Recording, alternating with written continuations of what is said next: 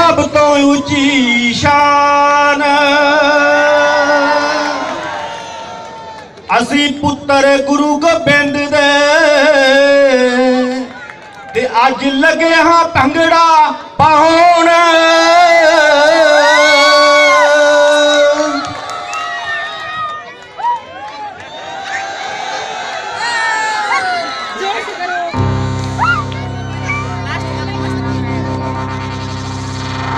ਸੰਗੋ ਦਾ ਨਹੀਂ ਪਿਆਰ ਨਾ ਬਟੋਲ ਕੇ ਕੰਦਾ ਕੱਟੀ ਦਾ ਸਟਿੱਕਰਾਂ ਤੇ ਬੋਲ ਕੇ।